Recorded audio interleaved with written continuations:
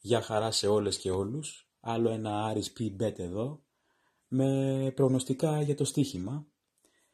Εάν και εφόσον σας αρέσει η φάση που γίνεται εδώ στο κανάλι, μπορείτε φυσικά να πατήσετε like, να κάνετε εγγραφή, κοινοποίηση, αλλά και το καμπανάκι να πατήσετε για να παίρνετε ειδοποιήσεις για περαιτέρω βιντεάκια που θα ανεβαίνουν. Από ό,τι βλέπετε λοιπόν χθες, έπεσα μέσα όσον αφορά την πρόβλεψή μου για τον αγώνα των ε, Brooklyn Nets με τους ε, Milwaukee Bucks που όντως πήγε στην παράταση, δηλαδή ισοπαλία με μεγάλη απόδοση και φυσικά μεγάλα κέρδη.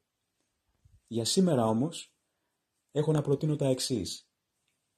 Στις 7 η ώρα Ελλάδος, Ιταλία, Ουαλία, Άσος. Επίσης στις 7 η ώρα, την ίδια ώρα, έχουμε Ελβετία, Τουρκία, πάλι άσος.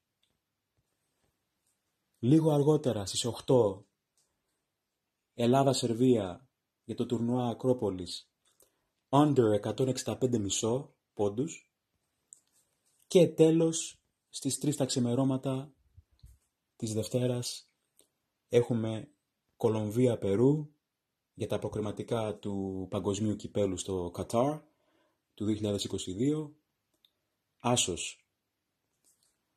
Αυτά λοιπόν. Καλή μας επιτυχία και θα τα λέμε. Χαιρετώ.